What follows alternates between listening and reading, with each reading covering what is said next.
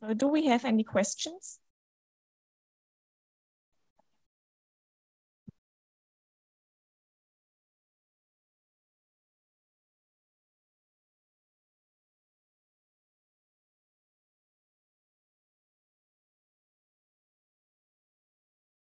Ms. Bernard, Arizona State University, is for Christine, uh, specifically about your mapping techniques. Um, I saw that even with a distal, very faint pyroclastic material, it is probably not more than like a veneer, thin veneer on the surface, and it drapes over various morphologic units, basically. You map that as its own unit. Um, so, so, so how do you differentiate between a let's say geomorphic, a geomorphologic unit versus that uh, unit that is clearly defined just based on mineralogy uh, or, uh, the reflectance properties. Because you're mapping one veneer over a bigger unit, but you declare it to be a, to be its own unit, right? Yeah, so that's why we came up with the term diffuse because um, it, it has a, it does have the spectral signature of the pyroclastics, which we wanted to show in our map. Um, but yes, if you look at just it based upon albedo, if you were just mapping on the WAC, you would not map that as a pyroclastic. So we, we decided to incorporate the other data sets, which include the pyroclastics, the titanium, uh, and the, you know, the M-cube spectral, which shows the spinel, just because we wanted to say that in, in these data sets, we did in fact identify pyroclastics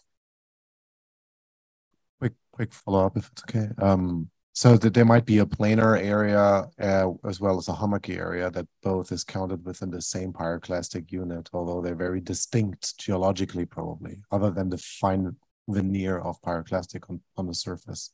Is, is that is that correct as per your geologic map? That's correct. So like the the steep slopes of the highlands probably do not have the pyroclastics. It's been mass wasted down or mixed in too much. We don't see that. But again, because we were so interested in, in showing the furthest extent of the pyroclastics, we would include some of the, the highlands that probably don't have it because it, at our mapping scale, we couldn't you know, distinguish every little hummock of highlands that did not have pyroclastics. Check me out on my poster tomorrow.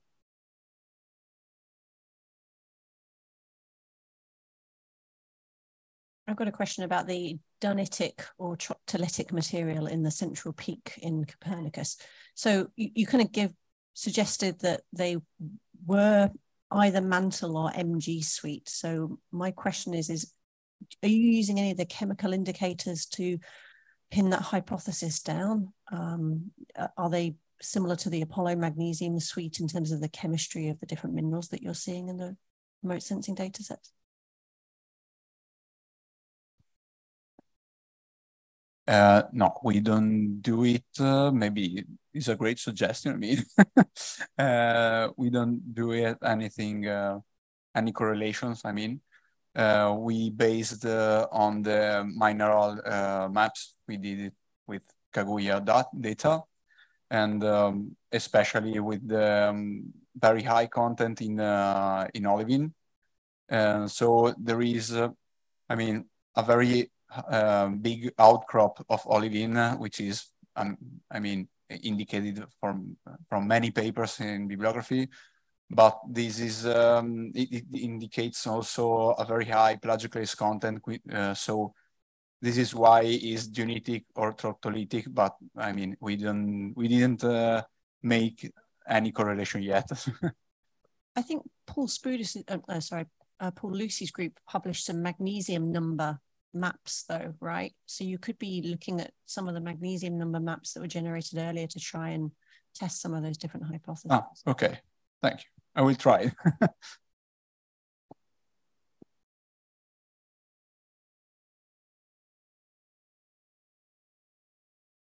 Hey, uh, this is again on Copernicus. Uh, this is Deepak. Uh, two information questions. Uh, did you mention the scale at which you did the geologic mapping? I don't remember. No, I forgot it. Sorry. Um, one uh, on uh, 4,000, uh, 400,000, sorry. One is to 400,000? Uh, sorry? Can you repeat the scale, please? Uh, 400,000. Okay. Okay. Uh, the second was pertaining to the impactor direction. Was that something that you inferred from your geologic mapping, or was that taken from literature? I mean, the um, the fact is obli oblique impact. Uh, it was already inferred by uh, Skuratov, uh, but uh, he didn't infer the directions.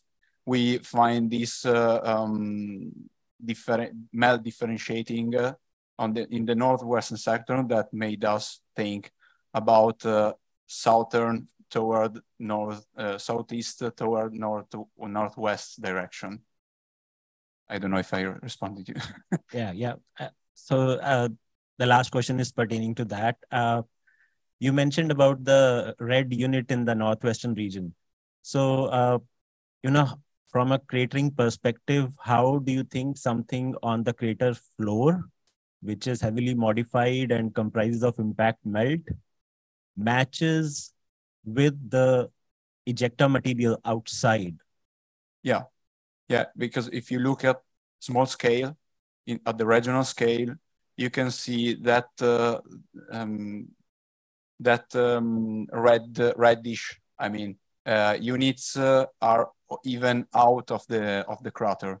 So that uh, is why we think uh, is a like an ejecta melt like flow downward after the cratering process. Okay, thank you. You're welcome.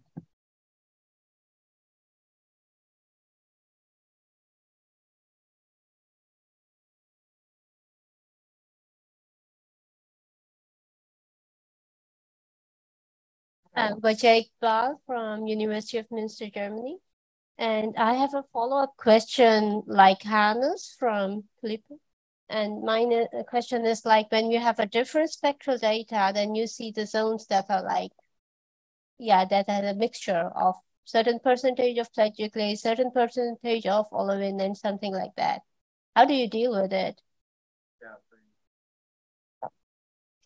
Yeah. we use the, the different maps and uh, we use the percentage content uh, in the different um, minerals. So um, basically, we uh, we made a sort of uh, um, how can I say? Um, you have hundred percent. Uh, the tot your total is hundred percent. Uh, then you have a certain percentage of plagioclase, a certain percentage of olivine, and so on. And we made so the basically the total of uh, the percentages. I don't know if it's answered you. Ah, uh, how you sure? Sorry. Um, with uh, different subunits, subunits. So we showed uh, like um, with different color, uh, a different shade of the main unit uh, that uh, I mean in the legend uh, you can you can see there is a, a higher percentage in olivine or uh, plagioclases or uh, so on. Okay.